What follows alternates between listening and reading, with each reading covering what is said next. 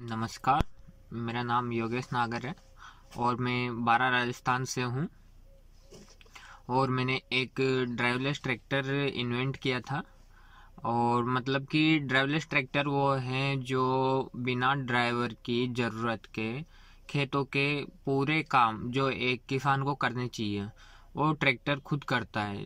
जैसे निराई गुड़ाई सीडिंग कल्टीवेशन सब कुछ ट्रैक्टर स्वयं करता है सेल्फ करता है।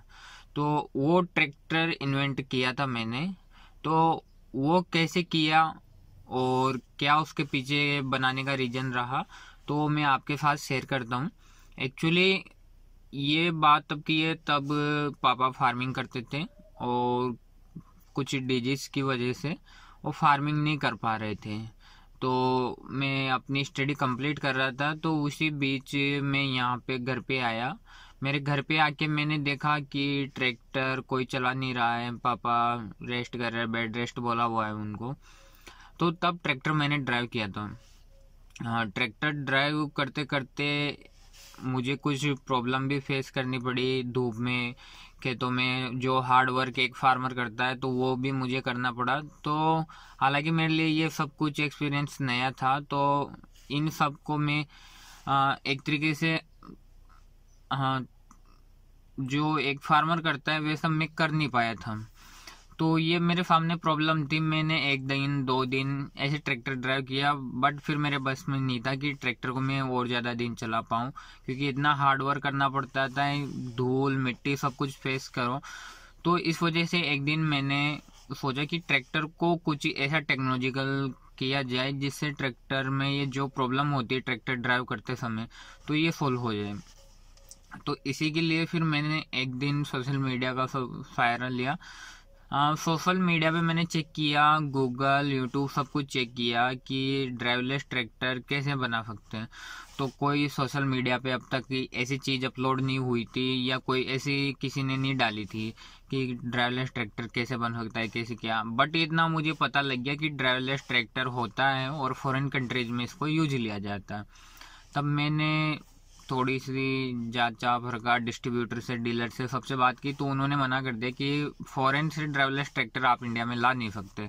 और बाकी अगर आप ले भी आओगे तो बहुत ज़्यादा कॉस्टली हो जाता है, जो एक फार्मर के बजट से बाहर हो जाता है। तो इस वजह से जो भी करना था, मुझे करना था तो मैंने पापा से बोला कि मुझे दो हज़ार रुपये दे दीजिए, पापा ने दे दिए। तब मैंने उनको एक सैंपल वाइज दिखाया कि ट्रैक्टर आगे और पीछे चलना चाहिए। तो मैंने दो हज़ार रुपये में कुछ पार्ट्स ऑटोमोबाइल सेक्टर से लेके आया। उनको मैंने अपने अकॉर्डिंग मॉडिफाई किया ट्रैक्टर के अकॉर्डिंग बनाया। तब ट्रैक्टर में वो इंस्टॉल करने बाद ट्रैक्टर रिमोटली आगे और पीछे चल सकता था। तो पापा को और जो फैमिलियर्स थे तो उन सबको बिलीव हो गया, जो पापा के दोस्त थे उन सबको। कि ट्रैक्टर जब आगे पीछे चल सकता है रिमोटली तो ये पूरे काम भी कर सकता है। तो सबको बिलीव होने के बाद फिर पापा ने मुझसे पूछा, मेरी कितनी आवश्यकता है पैसों की? तो मैंने पचास हज़ार रुपये के समथिंग पापा से लिए थे। पचास हज़ार रुपये लेने के बाद मैं ऑटोमोबाइल सेक्टर में जो पार्ट्स यूज़ होते हैं ऑटोमोबाइल इंडस्ट्री में, वो पार्ट्स लेके आया। हालाँकि मेरे अकॉर्डिंग मेरे ट्रैक्टर के अकॉर्डिंग कोई ऐसा पार्ट डिज़ाइन नहीं किया हुआ है किसी कंपनी ने जो लाते ही प्रॉपर फिट आ जाए। तो उसको भी मुझे बनाना था। मैं बाहर से जो भी पार्ट्स लेके आया कॉपर मोटर सब कुछ लेके आया। मैं बैटरीज वगैरह सब कुछ रिसीवर सब कुछ लेके आने के बाद घर पे मैंने उसको जोड़ना स्टार्ट किया। आ, इन सब चीज़ों को जोड़ते जोड़ते मुझे लगभग छः महीने लग चुके थे। क्योंकि छः महीने का वक्त इसलिए लगा क्योंकि पार्ट्स ले आया, फिर भी छः महीने का वक्त लगने का कारण है कि जो ट्रैक्टर बना रहा था मैं तो उसमें फेलियर्स भी इतने ही थे। हाँ बीस बार मैं फेल हुआ हूँ ट्रैक्टर बनाते बनाते एक बारी में ट्रैक्टर कंप्लीट नहीं हुआ था। तो इस वजह से बीस बार मैं ट्रैक्टर को बनाते वक्त फेल हुआ। जैसे एज एग्ज़ाम्पल कि जैसे मैं क्लच पे काम करने लगा ट्रैक्टर के तो पाँच बार तो उसमें फेल हो गया। एक बार मेरी मशीन जल गई, एक बार क्लच का प्रेशर अच्छे से नहीं आया और एक बार था तो मशीन ने लोड ही नहीं लिया। तो इस वजह से मैं ऐसे फेल होता रहा, लेकिन उससे मुझे सीखने को भी मिला।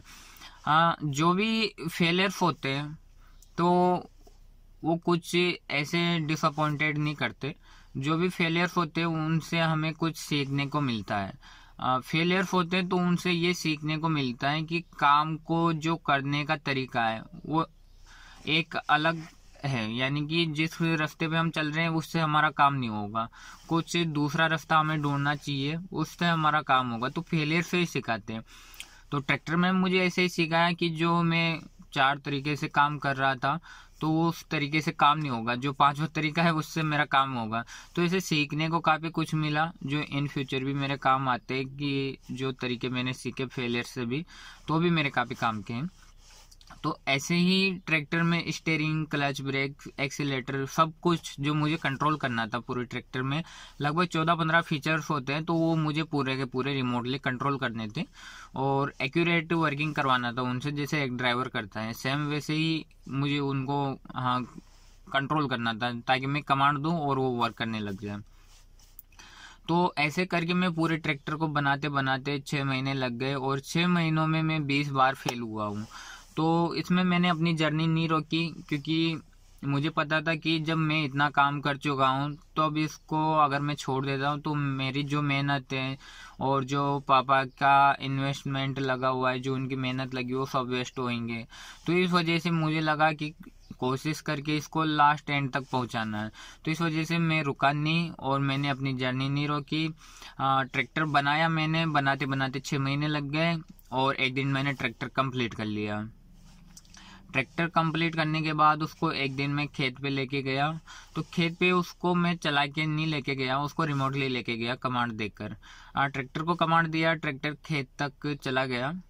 खेत तक जा रहा था ट्रैक्टर, लेकिन जैसे ही बीच में लोगों ने फ़र्स्ट टाइम देखा कि ट्रैक्टर बिना ड्राइवर के कैसे चल रहा है या कोई ऐसा एक्सीडेंट हो गया जिससे ड्राइवर सीट से हट के और ट्रैक्टर अपने आप सेल्फ चल रहा है तो ऐसा कुछ हो गया हो या कुछ ऐसा अजीब ही हो रहा है, जिससे मतलब ट्रैक्टर खुद चल रहा है जो साइड में, जो सामने ट्रैक्टर के आते ऑब्स्टेकल आता था तो उसको भी वो साइड कर देता था। तो ऐसे करके पूरा एक जो समझदारी से ट्रैक्टर चलना चाहिए, जो एक ड्राइवर के अकॉर्डिंग चलना चाहिए तो ट्रैक्टर से वैसा वर्क कर रहा था। तो सबको एक अलग ही फीलिंग आ रही थी, अलग ही लग रहा था कि यार ये हो क्या रहा है। तो सब अपने वीडियो मोबाइल में वीडियो बनाने लग गए, कोई सोशल मीडिया पर डालने लग गया, कोई रिकॉर्ड करने लग गया तो ऐसे करने लग गए। तब मैंने ट्रैक्टर से फ़र्स्ट टाइम ड्राइव किया था तो उससे मैंने काफ़ी ज़मीन पे काम किया और रिमोटली वर्क किया। तो गाँव वाले भी बहुत खुश थे, सब बहुत खुश थे और सब पापा को थैंक यू बोल रहे थे कि उन्होंने मुझे इस काबिल आगे बढ़ाया और मेरा सपोर्ट किया। हालाँकि उनमें वो लोग भी शामिल थे जो पापा को पहले ताना मार रहा करते थे। वो बोलते थे कि, यार, तेरे लड़के को पढ़ाई छोड़ के ये क्या बना रहा है, क्या कर रहा है? बिना वजह ही पैसे बर्बाद कर रहा है टाइम वेस्ट कर रहा है, पढ़ाई नहीं करता। तो ऐसे ताना मारते थे। तो वो भी लोग थे जो पापा को थैंक यू बोल रहे थे।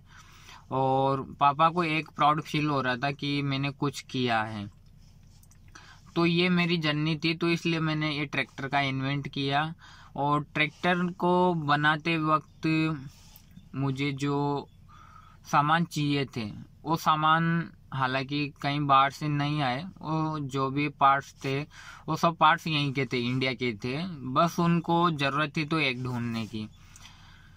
तो ऐसे ही ये मेरी जर्नी रही और मैं एक तरीके से माफ़ी चाहता हूँ कि मैं आप सबके बीच आ नहीं पाया क्योंकि कोविड नाइन्टीन का इतना ज़्यादा प्रभाव हो चुका है। तो इस वजह से सिक्योरिटी वाइज जो गवर्नमेंट ने आदेश निकाले हैं तो उसका भी पालन करना ज़रूरी है।